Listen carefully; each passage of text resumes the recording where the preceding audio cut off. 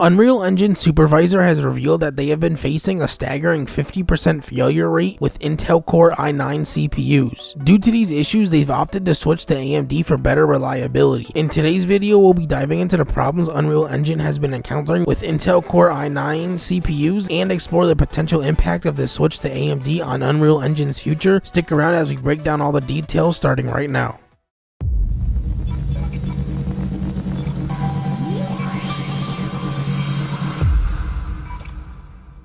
Intel CPU instability issues have escalated, now significantly impacting the professional community. The severity of the problem has compelled industry professionals to raise awareness, highlighting the critical nature of this ongoing fiasco. This widespread instability is not just a minor inconvenience, but a major concern that has forced many to rethink their reliance on Intel CPUs for professional applications. Game studios such as Alderon Games, Warframe, and Epic Games have alerted their users to Intel CPU instability issues through blog posts recommending either implementing Intel's fix or switching to AMD alternatives. Recently, Dylan Browne, Unreal Engine supervisor at ModelFarm, revealed a significant impact Intel's instability is having on their workflow. This revelation underscores the severity of the problem and highlights the industry's growing shift towards AMD for more reliable performance.